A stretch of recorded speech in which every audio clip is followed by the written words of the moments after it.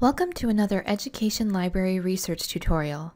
In this video, I'll cover advanced strategies for searching in UBC Library search engine Summon, including phrase searching, truncation, and Boolean operators, which you can use to make your searching more effective. If you watched our first UBC Library searching video, you'll know how to use the General tab to search with Summon, and you'll know about the filters on the results page that you can use to limit your search results. In this video, I'm going to perform another search in Summon to find resources to help me answer my research question. But this time I'm going to use the advanced search option. You'll notice that there are a lot of options on this page. I won't go over all of them in depth, but you may want to pause the video here to take a look at the different options and familiarize yourself with the advanced search page. Now before I start adding my keywords, let's go over some tips that you can use to create your search strategy. First, you may remember from the Introduction to Searching video that quotation marks can be a powerful tool for phrase searching in almost any database, including when you search in Summon. You should use quotation marks when searching for a multi-word phrase in order to ensure that you only get search results in which those words appear together.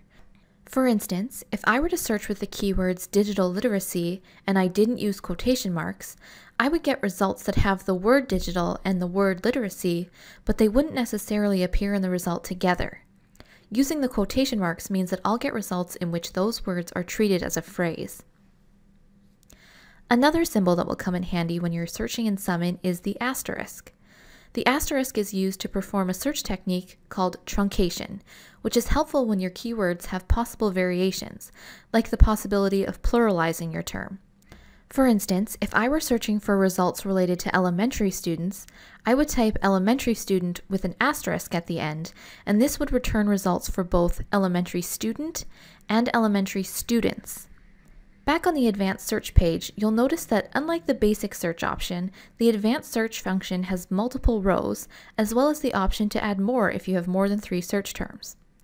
Using multiple rows is one way to incorporate multiple keywords together in a single search through the use of Boolean operators, which brings us to the third tip for advanced searching.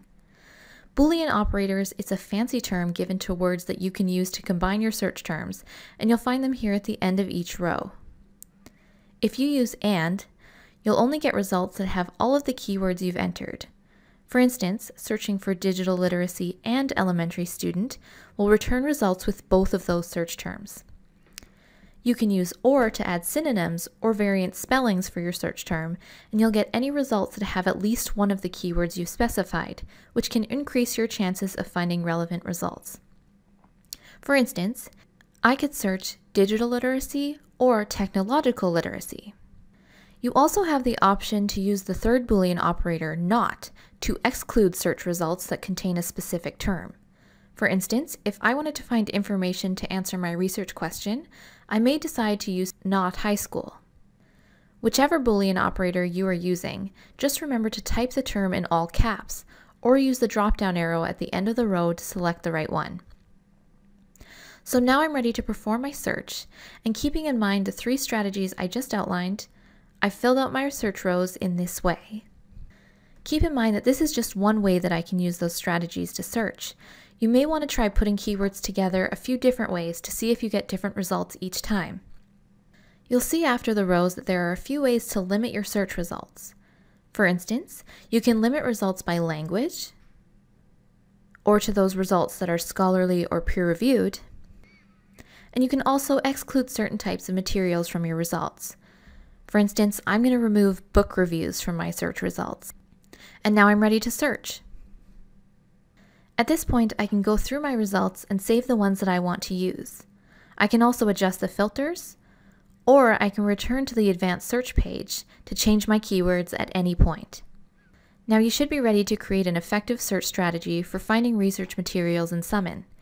If you have any questions or want to learn more about advanced searching, please reach out to the education librarians.